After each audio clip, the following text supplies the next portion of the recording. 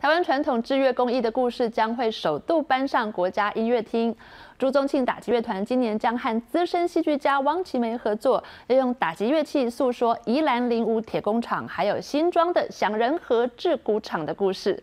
台湾多数的吉乐家和乐团所使用的锣鼓都是出自这两家。汪奇梅说，他们从黑手之家走到艺术之家，我们当然要做他们的故事。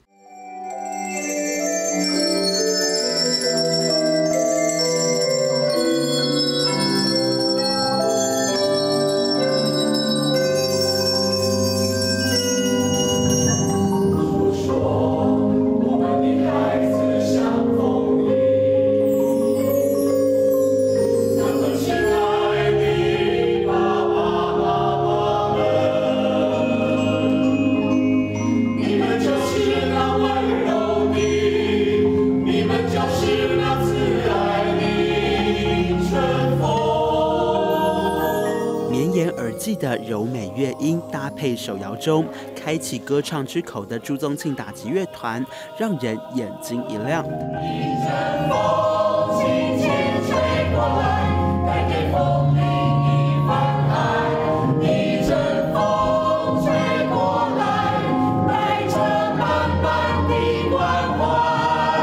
精选台湾歌谣乐曲，首次把民间工艺家追求器乐之美的故事搬上国家音乐厅。我们不做他们的故事，那谁来做啊？就正是应该把他们的故事和他们的呃坚持品质的精神和长久不懈、愿意呃持续这个艺术，就是说从黑手之家走到一个艺术工艺家的这样子的一个一个愿景。和一种努力的路线，都把他们的表现出来。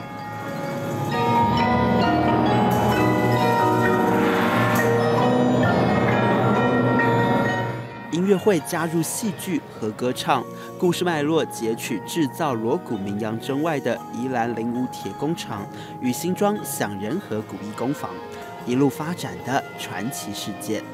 我觉得汪老师帮我们找到一个很动人的主题。虽然在乐团，我们常常都演奏很多的锣，各式各样的锣，还有各式各样的鼓，可是我觉得我们好像都没有太深刻的去了解他们的背后的一些意涵。